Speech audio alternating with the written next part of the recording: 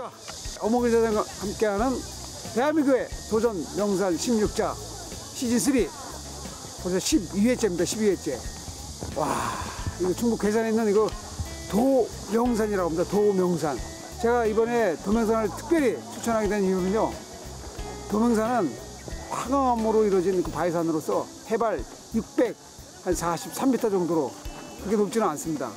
어, 부담 없이 올 수 있는 산이고 약간 가파르긴 한데 게다가 또 주변에 암등과 절경을 만끽할 수 있는 조망도 좋고 어몽길 도전 16좌 12번째 산으로 도명산을 추천하게 되었습니다. 특히 도명산을 마지막 여름 산행으로 추천하게 된 또 하나의 이유가 있습니다. 사실 도명산은 산보다도 계곡으로 더 이름이 알려진 산이다. 도명산에 있는 화양구곡은 특이하게도 모래가 맑은 물속을 가득 채웠는데 가족 단위 물놀이와 캠핑까지 즐길 수 있는 곳이다. 시원하고도 아름다운 도명산의 화양구곡.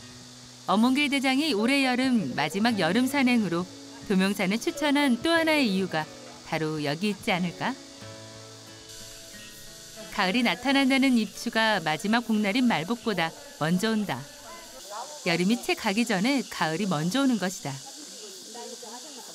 어느새 나무들 위로 보이는 두명산 하늘은 한결 파랗고 높아진 것이 영락없이 가을 하늘이건만 산자락을 가득 메우는 매미 소리는 여름 한철 짧디 짧은 지상에서의 삶의 마지막이 가까이 오면 알긴 한 듯 절정에 다다른 듯하다.